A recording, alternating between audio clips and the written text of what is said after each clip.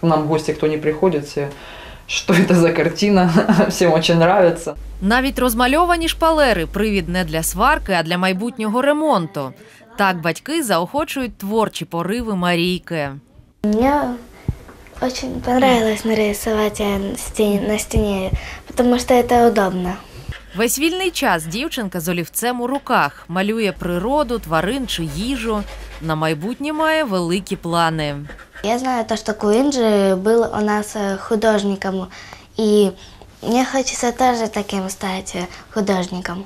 Ледве помітний шрам на правій руці змушує постійно робити перерви, бо пальці починають німіти. Усе через травму, яку Марійка отримала рівно 5 років тому.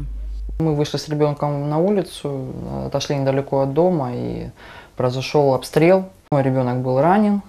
Яна згадує обстріл мікрорайону Східний, жаху, якого зазнала тоді, не забуде ніколи.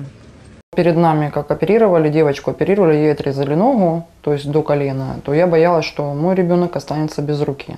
Сделали операцию, сказали, что все прошло удачно, но, но нужна разработка только. Постійні масажі та вправи давали певний ефект. Рука почала рухатися. Та найбільшого успіху досягли після курсів лікування в найкращих санаторіях країни за допомогою фонду Ріната Ахметова, який надає системну підтримку дітям. Все эти пять лет, то есть э, это колоссальные достижения, которые у нас э, по разработке руки, то есть все, нам предоставил фонд Рената Ахметова. Мы, я очень благодарна, что как бы так я сама бы, наверное, бы, ну, не вытянула бы. Цю ошатну сукню Яна пошила за кілька годин. Мама доклала багато зусиль, щоб на дитячому святі Марійка була найкращою. Доченька, иди посмотрим сейчас. На заході дівчинка обирає собі заняття до вподоби. Навіть тут знайшла, що розмалювати. Я разукрашивала двух птичек и по- наклеила их на дерево дружбы.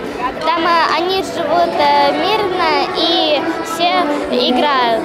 Уже цього року Марійка планує піти до художньої школи. Батьки впевнені, травма не стане на заваді в здійсненні мрії.